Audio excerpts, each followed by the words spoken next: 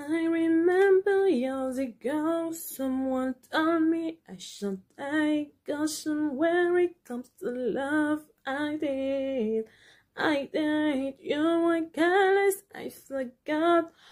Ouf, on n'est pas là pour chanter aujourd'hui. Passons à autre chose. Hello tout le monde, comment est-ce que vous allez? Moi ça va super bien. Tout d'abord, merci beaucoup à ceux qui sont déjà abonnés à la chaîne. Et euh, pour les nouveaux qui ne l'ont pas encore fait, alors je vous invite à le faire. Surtout, n'oubliez pas d'appuyer sur la cloche de notification.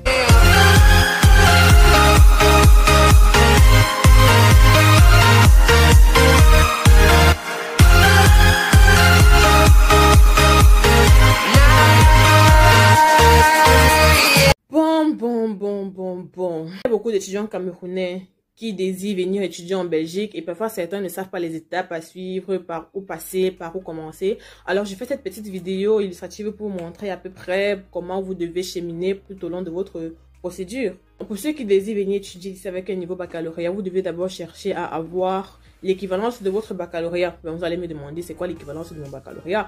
En fait, c'est un document qui est délivré par le service des équivalences de la Belgique. Donc, pour avoir ce document, vous devez constituer un dossier. Et le, le, dossier que vous allez constituer, vous devez le faire parvenir ici au service des équivalences de la Belgique. Bon, il y a des personnes qui auront de la famille ici, là, qui pourront avoir leur dossier, qui pourront prendre leur dossier pour le déposer au service des équivalences. Pour ceux qui n'ont pas de famille ici, le mieux serait de chercher des connaissances qui pourraient prendre votre dossier pour le déposer là, parce qu'ils ne reçoivent pas des courriers par... Euh, par mail, il faut aller sur place. Donc, euh, quand vous donnez dans votre dossier à une personne, devez déposer au service des étrangers, euh, au service des équivalences, pardon. Vous devez également donner une procuration à cette personne. Donc, pour le service des équivalences, le mieux pour moi, donc pour moi, c'est mon opinion, c'est mon avis. Donc, le mieux pour le dépôt de votre dossier, c'est de le faire le plus tôt possible. Généralement, ils ouvrent aux environs du mois de novembre et ça s'étale jusqu'au mois de juillet. Donc, le mieux, c'est de s'y prendre le plus tôt possible parce que plus vous prenez tôt, plus votre, votre équivalence sort rapidement et vous avez la possibilité de continuer votre dossier. Et donc, du coup, euh, oui, donc, si vous allez donc sur le site du service des équivalences, vous allez voir qu'il y a une série de documents que vous devez constituer. Et donc, une fois cela fait, vous n'avez juste qu'à l'envoyer, par exemple, par DHL pour que la personne qui est sur le territoire puisse aller le déposer. Et ainsi, une fois que c'est déposé, vous deviez juste attendre. Une fois que votre dossier est déposé, vous devez attendre qu'on vous contacte, qu'on contacte la personne qui a déposé votre dossier et lui faire savoir que voilà, l'équivalence est sortie et qu'il vient de chercher avec bien sûr vos documents originaux parce que vous ne devez pas laisser vos originaux là-bas. Donc, il faut faire bien attention à ce que vos originaux vous parviennent toujours.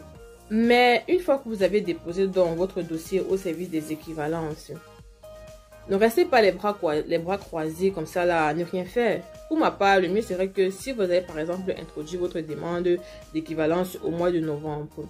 Donc, oui, novembre, décembre, janvier, oui, vous ne faites rien. Parce que généralement, les écoles commencent à ouvrir, à faire les préinscriptions à partir du mois de février, fin février, début mars. Donc, quand le mois de février arrive ou début mars arrive, vous devez déjà commencer à postuler. Donc, durant les trois mois qui sont passés, euh, novembre, décembre, janvier, et que vous n'avez rien fait, pendant ce temps, vous, pourrez, vous pouvez déjà cibler les écoles dans lesquelles vous pouvez postuler. Donc, il y a plusieurs écoles ici, là, dans lesquelles vous pouvez postuler. Il y a par exemple des autres écoles comme euh, la Haute École Charlemagne, il y a aussi euh, la haute école, le ISSFSC, Institut euh, Saint-Louis formation de sociale et de communication. Vous pouvez aussi postuler dans les universités, par exemple l'université de Liège, l'université de Namur, il y a plein d'autres universités, donc vous devez juste regarder sur internet et savoir dans quelle haute école ou dans quelle université vous devez postuler.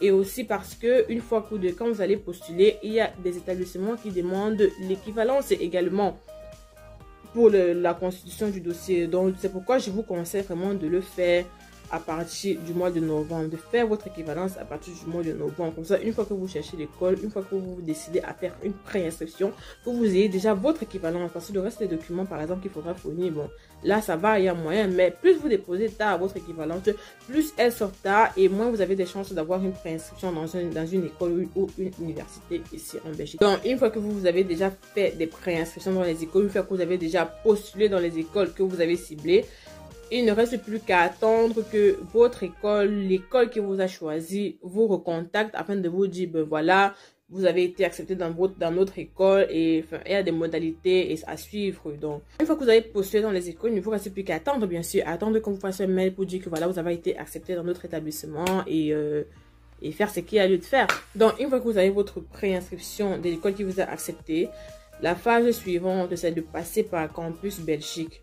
Donc là-bas, vous avez euh, une série de documents que vous deviez constituer et aussi un certain montant, genre euh, plus, c'est 60 000 ou 80 000, un truc du genre.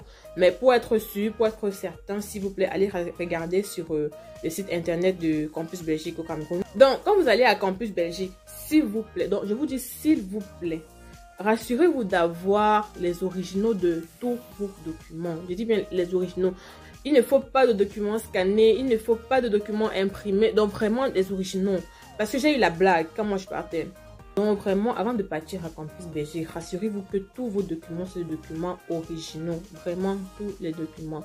Rassurez-vous vraiment de cela. Prenez vraiment en considération les conseils que je vous donne pour ne pas avoir d'ennui, pour ne pas avoir de problèmes et pour ne pas vous déplacer pour rien. L'entretien ne consiste pas seulement à partir, déposer son dossier et, ressortir. Et... Non, non. L'entretien, c'est vraiment genre, tu pars, tu t'assois, il y a un monsieur ou une dame en face de toi, elle a un formulaire et elle te pose des questions. Donc, vraiment, avant de partir à Campus Belgique, là, prenez le, donc, vraiment les informations sur l'école qui vous a choisi là.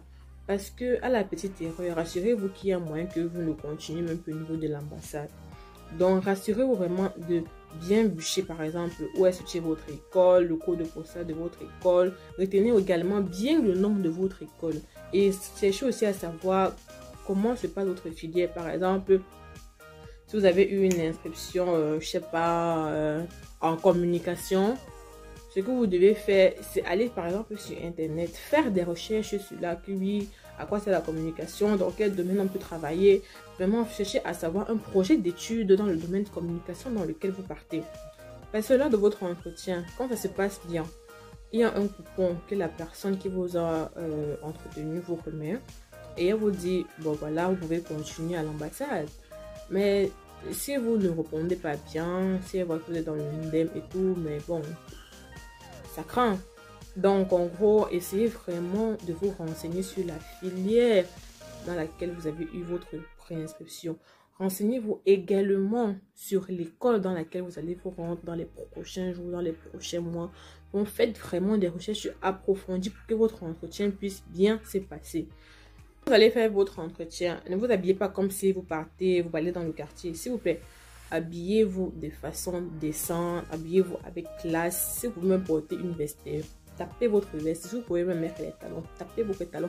Parce que je vous rappelle que la présentation est très très importante lors d'un entretien. Donc, faites très très attention à votre style vestimentaire et à la manière dont vous vous habillez pour aller faire votre entretien. Donc, une fois que vous êtes passé à Campus Belgique et que ça s'est bien déroulé, la phase suivante, c'est l'ambassade. Il faut partir à l'ambassade. Quand vous partez à l'ambassade, il y a également un dossier que vous devez constituer. Donc, euh, dans ce dossier, vous avez beaucoup de documents que vous devez légaliser. Vous devez partir, par exemple, au MINREX, qui est le ministère des Relations extérieures. Vous allez partir euh, au consulaire belge. Vous devez faire également une visite médicale. Donc, vous devez avoir un certificat médical qui, qui atteste que vous êtes bien portant, vous n'avez pas de maladie. Et quand vous partez donc faire cela, vous devez faire également des vaccins. Donc après cela, il y a un carnet jaune, un petit carnet jaune qu'on vous remet. Et ce carnet jaune vous permet de voyager. Donc en voyageant, vous devez avoir votre carnet jaune. Parce que quand vous arrivez sur le territoire belge, on regarde tout cela. Si ce n'est pas votre carnet jaune, je suis désolée, mais ça craint. Donc, en plus des documents que vous devez légaliser et du certificat médical dont vous devez euh, avoir aussi, vous devez également chercher à avoir un garant. C'est vrai qu'il y a des gens qui vont me demander, mais le garant, c'est quoi, c'est qui? En fait, le garant, c'est cette personne-là qui, euh, qui te prend en charge. Donc, en fait, vous devez avoir un document de prise en charge. Et la personne qui signe ce document de prise en charge est appelée garant. Et ce document, en fait, ça veut dire que la personne qui te donne la prise en charge, la personne qui te fait cette prise en charge est censée te prendre en charge quand tu arriveras sur le territoire belge. Donc, c'est un moyen de prouver que comme tu parles sur le territoire belge là, tu ne vas pas souffrir. Pas souffrir donc mais tu n'auras pas de problème. Il y a une personne qui doit s'occuper de toi, il y a une personne qui va te prendre en charge. Donc, la prise en charge, la personne qui la signe n'est pas forcément obligée d'être en Belgique, il peut être en France, au Canada, peu importe, du moment qu'il est solvable. Donc, quand on fait d'autres prises en charge, il faut vraiment que votre garant soit solvable parce que la solvabilité là est très nécessaire, très indispensable pour que votre dossier puisse aboutir à de bons résultats. Parce que quand, quand il est solvable, là l'État belge comprend que voilà, oui, il est capable de s'occuper de toi, que tu ne peux pas, tu n'auras pas de problème. Une fois que vous avez votre prise en charge et les documents que vous avez légalisés et que vous avez votre certificat médical, et pour les documents que vous devez constituer pour euh, l'ambassade, allez également sur le site de l'ambassade. Il y a une série de documents vous devez faire, comme par exemple un formulaire que vous devez télécharger en ligne, remplir, photocopier en deux exemplaires, euh, relever de notes. Donc vous allez avec ça, avec les originaux, surtout les originaux, n'oubliez pas les originaux s'il vous plaît. Parce que c'est très très important, on peut vous chasser, on peut vous faire rentrer à poste. Les originaux, n'oubliez pas de regarder ça. Donc, quand vous allez à votre rendez-vous à l'ambassade, rassurez-vous d'arriver à l'heure. S'il vous plaît, je vous dis même s'il vous plaît. J'allais oublier un élément très très important. Avant de partir à l'ambassade, rassurez-vous d'avoir déjà votre passeport. Parce qu'en partant à l'ambassade, il faut son passeport. Parce que quand vous partez déposer votre dossier, vous leur remettez également votre passeport. Si votre visa passe, c'est à l'intérieur qu'ils mettront le visa. C'est à l'intérieur qu'ils mettront tout. Donc, rassurez-vous avant de partir à l'ambassade que vous possédez déjà votre passeport. C'est très, très important. Donc, euh, une fois que vous allez à l'ambassade, que vous avez déposé votre dossier et que vous ressortez de là, vous êtes peinard, vous êtes tranquille, vous avez déjà fait le plus grand, vous avez déjà fait le plus lourd. Bon, je ne vais pas dire le plus lourd parce que une fois qu'on a le visa là, c'est encore autre chose. Mais sinon, côté administratif et tout, vous avez déjà tout fait. Et une fois que votre visa sort, une fois que vous savez que vous avez obtenu un visa, il ne vous reste plus qu'à chercher l'argent pour votre billet d'avion et à réfléchir comment vous allez faire pour vivre dans le pays dans lequel vous vous rendez dans les prochains jours là. Bon, nous voilà arrivés à la fin de la vidéo. Si vous avez des questions concernant les étapes de la procédure pour venir étudier en Belgique, n'hésitez pas de le faire en commentaire. Si vous avez apprécié mes idées, si vous avez apprécié mon intervention, n'hésitez pas de le faire également en commentaire. Et surtout, à bientôt pour une nouvelle vidéo.